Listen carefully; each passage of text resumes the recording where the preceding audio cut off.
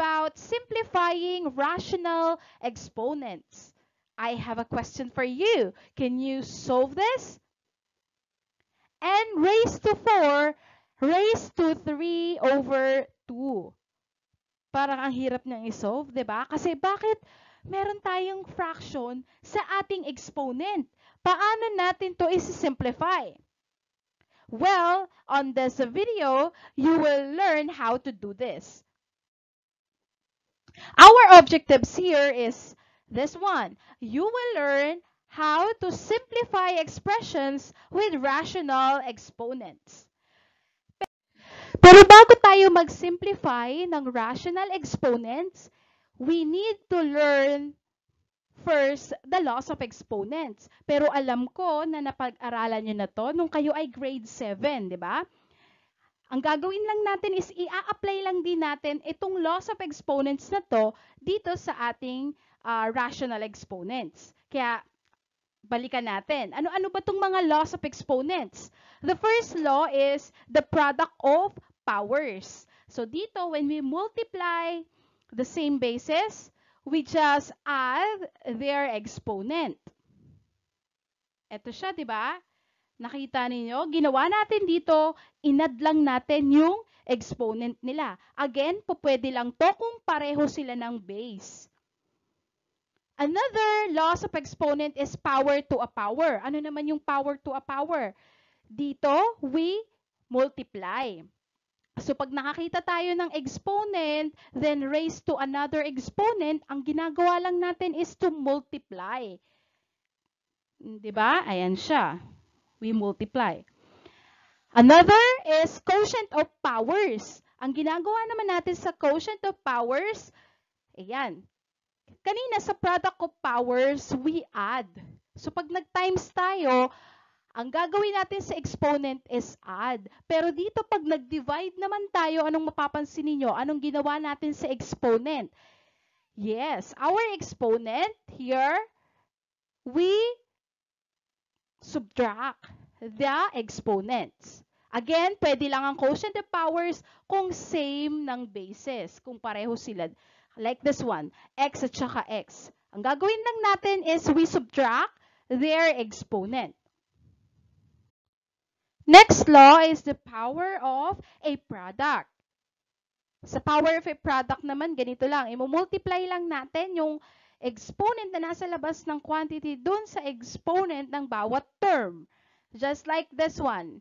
Yung quantity xy raised to a is equal to xa or x raised to a, y raised to a. At, syempre, meron din tayong power of a quotient sa power of a quotient, ganun din, x over y raised to a, that is equal to x raised to a over y raised to a. So, itong mga laws of exponents natin na to, dapat alam natin or hanggat maaari, memorize natin para pag nag-simplify na tayo ng rational exponent, madali na lang para sa atin. Aside sa loss of exponent, kailangan alam din natin kung paano mag-add and mag-subtract ng fractions. Naaalala nyo pa ba?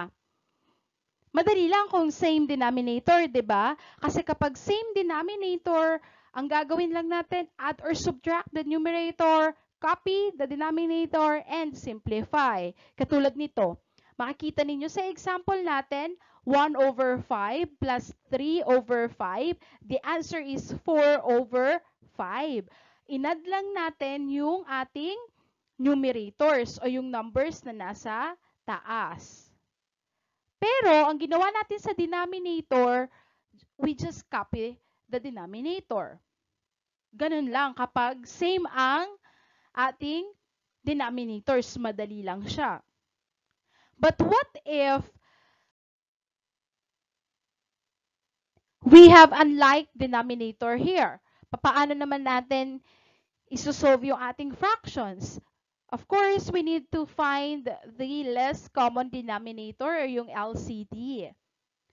After we get the LCD, we can now write in equivalent fraction, add or subtract, then simplify. So, let's look at our example here. 1 half plus 3 over 4. Nakita naman natin, kumuha or kinuha muna natin yung LCD niya or yung less common multiple muna niya ng 4 and 2. Tapos yun yung ilalagay natin as our LCD.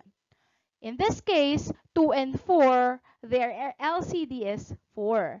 After we get the LCD, ang susunod doon is we divide the LCD to the original denominator, then multiply the quotient to the numerator. Kaya 4, 4 divided by 2, the answer is 2. Then multiply by 1, the answer is 2. Ito siya. Next, 4 divided by 4, the answer is 1 times 3, we have 3. Ngayon, since they have the same denominator, we can now add their numerators. 2 plus 3 is 5 over 4. Next naman is yung multiplication of fractions. Dapat alam din natin to. Pero don't worry kasi ang multiplication of fractions, mas madali siya compare sa addition and subtraction of fractions. Bakit? Kasi dito, it doesn't matter if we don't have same denominators. So, hindi na natin kunin yung LCD pa rito. Kasi pwede tayong mag-multiply ng fractions kahit magkaiba yung kanilang denominator. We multiply the numerator and then the denominator, then simplify. Ganun lang kadali yung multiplication of fractions. Let's see. 1 half times 4 over 6. We multiply 1 and 4. 1 times 4, the answer is 4. Then we multiply 2 times 6. The answer is 12. Diba? So, wala ng LCD. After we get the product, make sure that we simplify it. Or i-lowest term natin siya. So, ang, ang pwede pa nating maging answer sa 4 over 12 since we can divide both num numerators and denominators into 4, the simplest form is 1 over 3. Ganun lang kadali. How about this one? 1 over 5 times 2.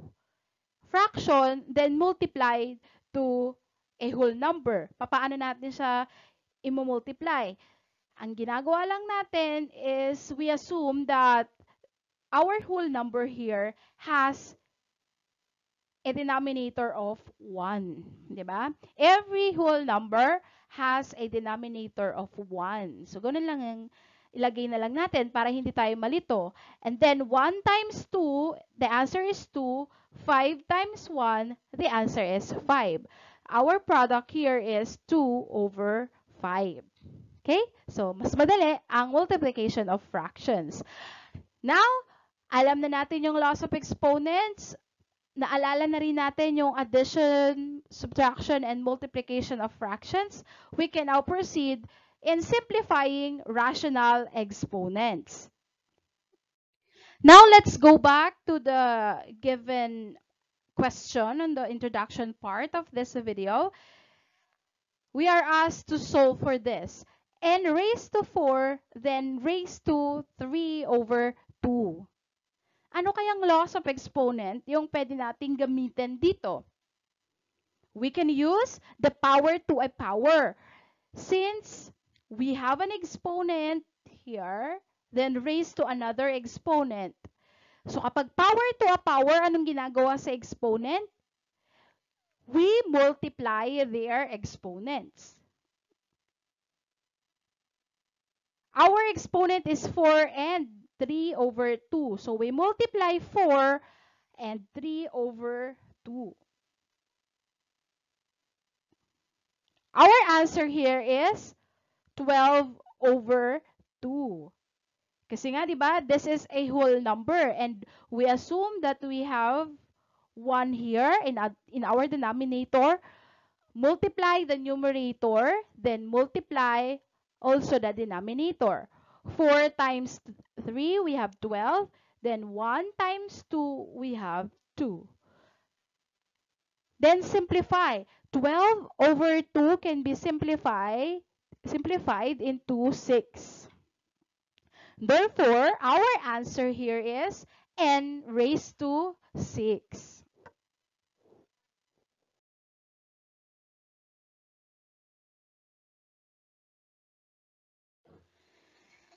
Next is this one. a raised to 2 over 5 times a raised to 1 over 10. Ano kayang loss of exponent yung i-apply natin dito? Ang i-apply natin, syempre, is the product of powers. Ano ang ginagawa natin sa product of powers? Ang ginagawa natin sa exponent is we add the exponent. What are the exponents here? Our exponent um, we have 2 over 5 and 1 over 10. So we just add these fractions. Makikita natin na yung ating fraction ay unlike or magkaiba ng denominator. Therefore, we need to find the LCD. Our LCD here is 10. After we get the LCD, we divide to the original denominator, then multiply. 10 divided by 5, the answer is 2. Then, uh, multiply to the numerator, which is 2. 2 times 2, we have 4. Next, 10 divided by 10, we have 1. Times 1, the answer is 1. We can now add the numerators since they have the same denominators. 4 plus 1, the answer is 5 over 10. We can simplify or get the lowest term. Then, the final answer is 1 half. We can now write our answers. Our answer is a raised to 1 over 2 or a raised to 1 half.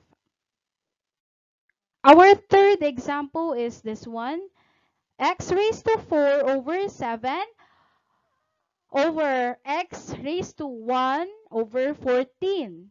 Anong law of exponent yung i-apply natin? We will apply the quotient of powers. At sa quotient of powers, ang ginagawa lang natin sa exponent is we subtract. We will subtract 4 over 7 and 1 over 14. They are not the same denominator, we will get the LCD. Our LCD is 14. After we get the LCD, we divide the LCD to the original denominator, then multiply to the numerator. Here in this case, 14 divide by 7, the answer is 2 times 4, the answer is 8. Next, 14 divided by 14, the answer is 1. Times 1, the answer is 1. Since they have the same denominator, we can now subtract our numerator. 8 minus 1 is 7. Then copy the denominator over 14. Then simplify. It is equivalent to 1 half. Our final answer here is x raised to 1 half. Next example is this one. A raised to 3, B raised to 6, then raised to 1 half. Anong law yung ating gagamitin? We will apply the power of a product. We will multiply 1 half to the exponent of each term. So 3 times 1 half and then 6 times 1 half. Let's solve this. Uh, 3 times 1 half, the answer is 3 over 2. Again, paalala ko lang ulit, we have 1 over 1 here in our whole number. And then 6 times 1 half. Our answer is 6 over 2. 6 over 2, we can write it also or simplify it into 3. 6 over 2 is 3.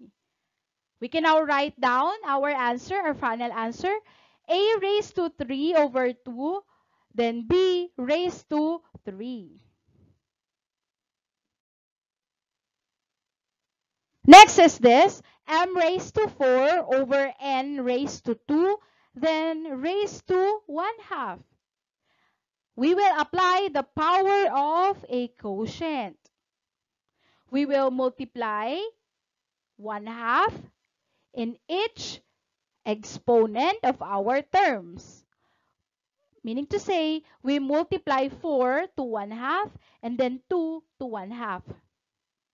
4 times 1 half, the answer is 4 over 2 or 2. 2 times 1 half, the answer is 2 over 2 or we can simplify it as 1. We can now write down our final answer. Our final answer is m raised to 2 over n. We don't need to write 1 here as our exponent. Next, m raised to 2 over 9 times m raised to 4 over 3. Anong gagamitin? We will use the product of powers. And in product of powers, we add the exponents. 2 over 9 plus 4 over 3 is this one. Our LCD is 9. We divide 9 to 9. That is 1 times 2. The answer is 2. Then 9 times, um, no, 9 divided by 3. We have 3 times 4. The answer is 12. Then add the, the numerator, we have 14 over 9. Therefore, the final answer is m raised to 14 over 9. Ngayon, alam na natin kung paano mag-simplify ng rational exponent. Pero, syempre, marami pa tayong matututunan. Susunod nating pag-aaralan is, papaano natin isusulat itong rational exponents into radical form. So, yun yung aalamin natin sa susunod. Pero, let's summarize what we have learned in this video. Always remember that in simplifying rational exponents, we will apply the laws of exponents. So, hindi pa rin dapat kalimutan dito yung laws of exponent kasi yun yung gagamitin natin in our rational exponents, in simplifying our rational exponents. And then, of course, another is yung we need to know how to perform operations on fractions. Kasi nga, di ba, nakita nyo, may mag-add tayo ng fraction, mag-subtract, tapos mag-multiply. Kaya, dapat alam pa rin natin. And then, always remember uh, that you need to simplify your answers. Okay? Pag nagawa niyo yan, madali na lang para sa inyo mag-simplify nitong mga rational exponents. Kaya abangan nyo pa yung mga susunod na video natin. Marami pa tayong pag-aaralan about rational exponents. For now, that's the end. Goodbye!